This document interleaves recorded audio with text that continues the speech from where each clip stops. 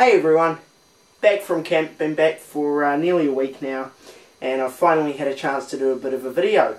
And when I was uh, searching around having a clean up of, uh, of a relative's um, attic um, on Wednesday night and uncovered this little beauty. Now unfortunately it isn't actually a PowerBook 145, it's not actually an Apple computer um, that we have in here. Although this is the exact same box that my father's PowerBook 145 came in. And this is actually the first computer that I ever used. And on the side of the box it's quite funny um, to read what it says. Uh, Apple Distribution Centre, 9 Wilkins Street, Freeman Bay, Auckland, New Zealand. Macintosh PowerBook 145. 4 megabytes of RAM, 1.4 megabyte FDHD floppy drive, 40 megabyte SCSI hard disk, assembled in the United States of America. Apple Computer Inc. It's a cool little thing. But what's actually in here is actually still very interesting. And it is what my dad bought with his original PowerBook, and that would be an Apple StyleWriter printer. So what I'm going to do now is um, I'm going to clean her up a little, then um, plug her in. I've been on the Apple site, you know, found their archived help files, last updated June 1st, 1997, and um, I'm going to, I've found out how to force this to print a test page because I don't have uh, any compatible hardware to connect it to. It uses the old um, uh, ADB style printer port. Um, but I'm going to connect it up because I have the power brick and everything uh, and see if it'll work and if it'll print me a test page or not. Um, so let's let's clean up.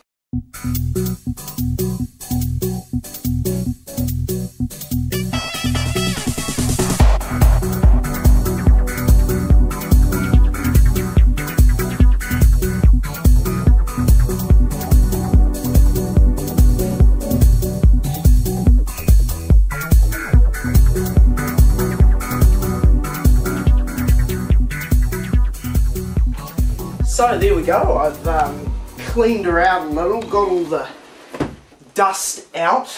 Um, yeah, the plastic's going yellowy, there are a number of fixes for that. Um, quick Google will get you those. Uh, but I don't have the, the uh, resources to do that as of now. I'll probably end up doing that at some point. So we open up the front of the printer and we see where the ink cartridge is and someone's stuck in a, um, a Canon cartridge in here which by the sounds of things still has some ink flowing in it, which is a funny little thought that. So that just goes in here, and then flick. Oh, hang on. How on earth do we? Here we go. Upgrade roll down. and, oh, there we. Oh, so you put that thing there, and then flick it. Okay, that's a cool little system. Um, but yeah, I've cleaned out all the junk from in here.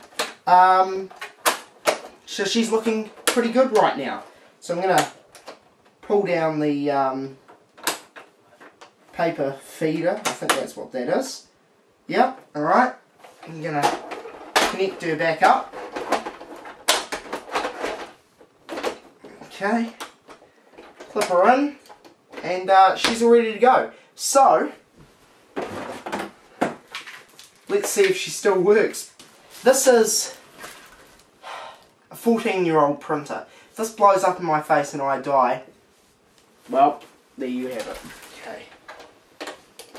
Okay, she's plugged in. Hit the power button. Got a, ooh. Says it's ready for input. The error light isn't on. Uh, yeah, power lights on, ready lights on. So, um,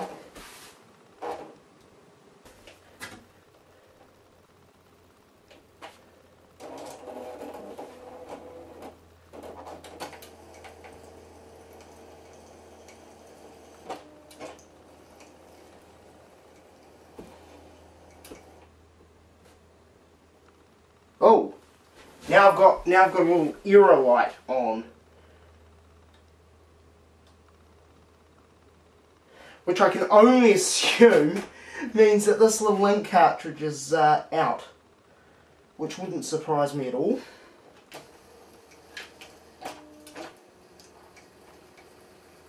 Hold down the form feed button, press the power button, release.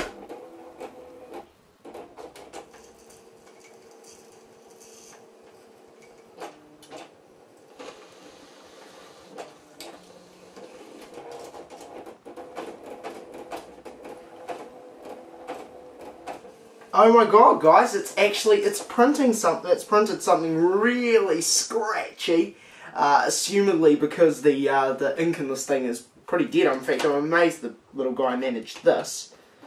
He is getting jammed in here, but if I just yank, I've got it.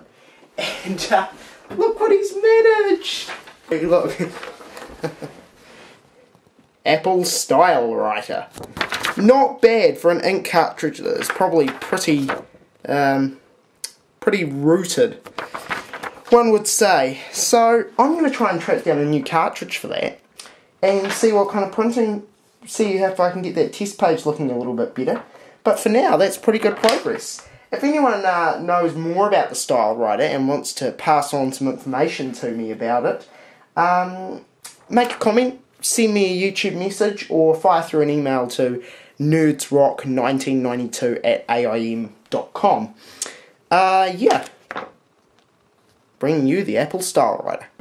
In my next video, which is also should be up now, I'm going to talk about another bit of retro I found, which is this book called The Internet for Macs for Dummies, which was also part of the package that Dad bought his PowerBook in. So uh, more retro coming up. Cheers, guys.